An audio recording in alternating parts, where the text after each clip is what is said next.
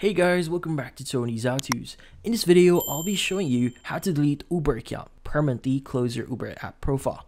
So before we start, hurry up and check out our latest overages under this video. So let's get started. So the first thing we need to do here is we need to open up the Uber app. So let's go and open up the Uber.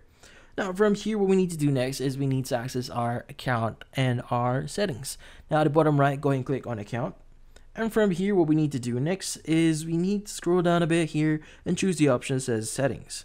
Now under settings, what you need to do is you need to look for the option that says privacy. Go ahead and click on it.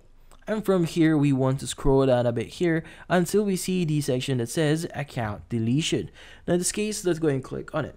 Now from here on, it's going to request you to sign in again into your account to verify your identity that it's actually really you who is requesting to delete your account. In this case, let's go and click on confirm here.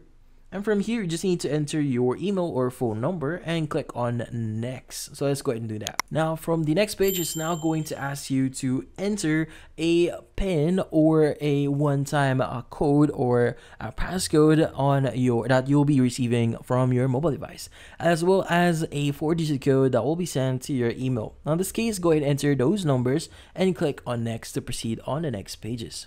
Now in this case, once you've entered your code, it should proceed you on the next pages, but in this case, it's going to say delete your account. Now in this case, the following profiles will now be deleted, which in this case, the profile that you have right now, and it's also going to show you the number of trips that you have and the number of total orders that you have on your account. Now in this case, when you delete your account here, your Uber rider profile will be uh, available for 30 days, but in this case, after 30 days, it will be permanently deleted.